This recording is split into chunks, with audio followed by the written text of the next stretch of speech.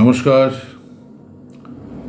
বাজে কথা, ছেঁড়া বার্তার জগতে আরেকটি এপিসোডে আপনাদেরকে আমন্ত্রণ জানাচ্ছি, সাদর অভ্যর্থনা জানাচ্ছি। আমার এপিসোড শুনুন, ভালো লাগলে লাইক দিন কমেন্ট করুন। আরও বেশি বেশি করে শেয়ার করুন এবং সাবস্ক্রাইব করা করতে বলুন। আমি উৎসাহ পাই, এই বুড়ো বয়সে করছি যে উৎসাহর জন্য আর কিছুই নয়। দেখুন,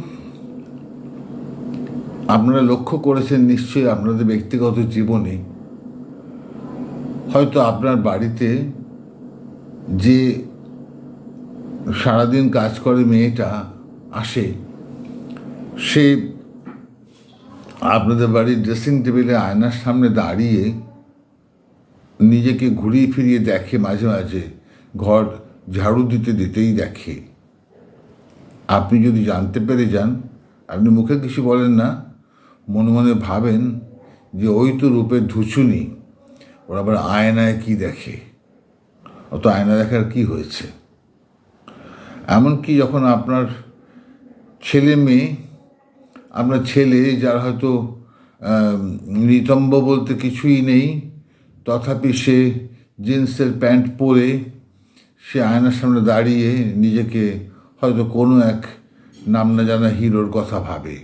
সে হিরোর মতো হাব ভাব করে, চুলের ফ্যাশন করে জামা কাপড়ের ফ্যাশন করে।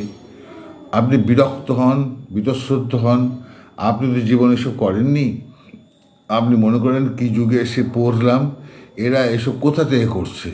এসব টেলিভিশনের বা এগুলো সব ইন্টারনেটের কৃপায় হচ্ছে।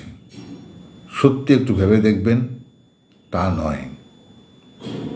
এই যে ব্যাপারটা, এই যে নিজেকে ভালো করে দেখা আয়নার সামনে, নিজেকে ভালো করে দেখা, ভালো ভেবে দেখা, এর একটা ইংরেজি নাম আছে, তার নাম নার্সিসিজম। নার্সিসিস্ট আমরা প্রায় সকলেই। আজকাল ছোটো ছোটো শিশুরাও নার্সিসিস্ট। তারাও আয়নার সামনে দাঁড়িয়ে নানা রকম মুখভঙ্গি করা নানা রকম অঙ্গভঙ্গি করতে ভালোবাসে, মোবাইলে নিজের ছবি দিতে ভালোবাসে। সেইভাবে আমি সুন্দর। আমাকে দেখতে সুন্দর। আমার ছবি তোলা থাক।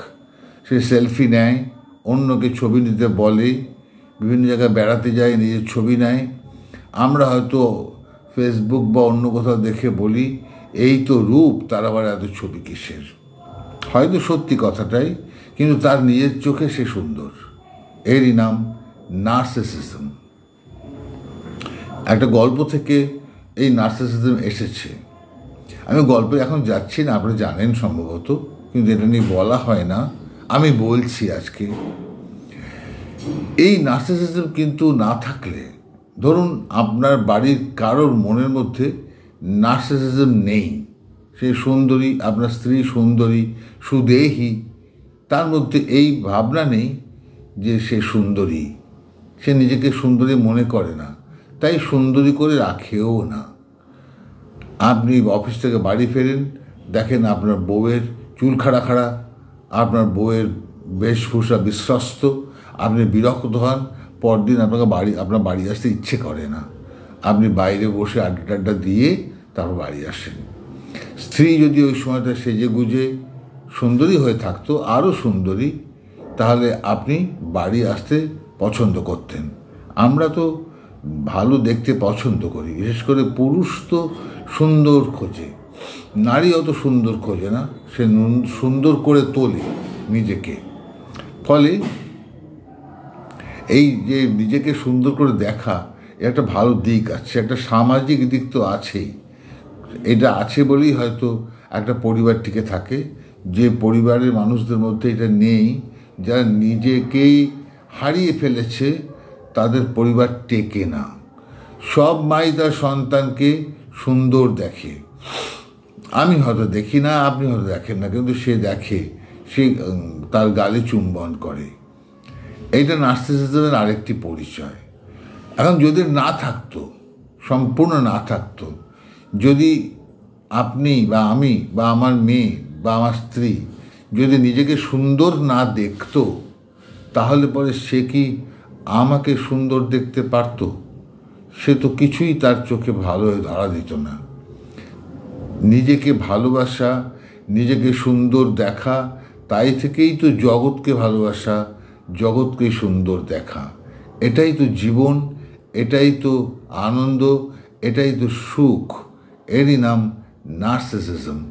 একে খারাপ চোখে দেখা আমাদের কদাপি উচিত নয়। তাই বিয়েবাড়ি যাবার সময় আপনার স্ত্রী, আপনার কন্যা যেমন তাদের শরীরে রং হোক না কেন, কালো, রোগা, যাই হোক না কেন, তারা সুন্দর সুন্দর সুদৃশ্য শাড়ি পরে, সাজগোজ করে পেইন্ট করে নিজেকে সুন্দর করে তোলে। অপরকে দেখাবার জন্যে নয়, নিজেকে নিজের চোখে সুন্দর করে দেখাবার জন্যেই তার এই সুন্দর হয়ে ওঠা। এটা একটা সামাজিক অত্যন্ত প্রয়োজন, মনস্তাত্ত্বিকও বটে। এর একটা মনস্তাত্ত্বিক উপযোগিতা আছে। এইটা আছে বলেই হয়তো আমরা এখনও বাঁচতে চাই, আমরা শান্তিতে বাঁচি। নয়তো জীবন তো একটি একঘেয়ে পর্যায় বলে অনেকে মনে করে। ভেবে দেখবেন আমি ঠিক বললাম কি না কাউকে এই বিষয়ে নিন্দা করা আমাদের উচিত কি না না করাই বোধহয় উচিত, সমাজ থেকে থাকে। সবাই আপনি বাড়ি ফিরে আপনার স্ত্রী যেমনই হোক, আপনার সন্তান যেমনই হোক, আপনি দেখে একগাল হাসি দেন। আপনার ভালো লাগে, স্ত্রী মুড়ি দিক চা দিক, রুটি দিক, আপনি খেয়ে তৃপ্ত হন। তারপরে গল্প করতে করতে আপনি সন্ধ্যাটা কাটিয়ে দেন, রাতে খেয়ে বিশ্রাম করেন। পরদিন আবার যে আপনি দপ্তরে যান, কাজে যান, কিসের দৌড়ে যান? আপনার পরিবারের জন্য।